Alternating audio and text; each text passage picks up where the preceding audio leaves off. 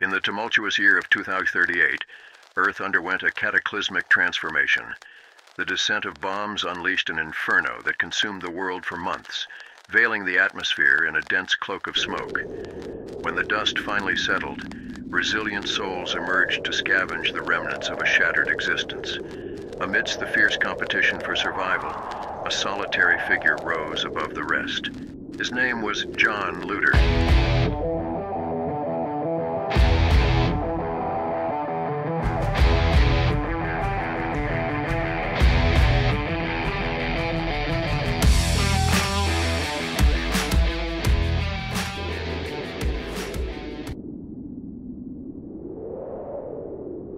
I need to get out there and get some loot.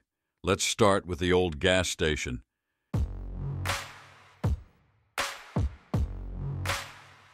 Barbed wire and some metal sheets. Perfect. Food. Exactly what we need.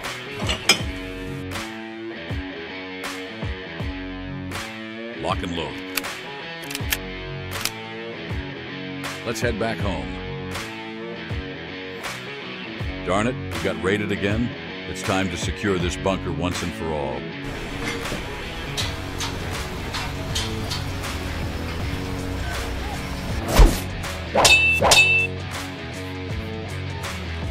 There is nothing better than an ice cold radiation beer.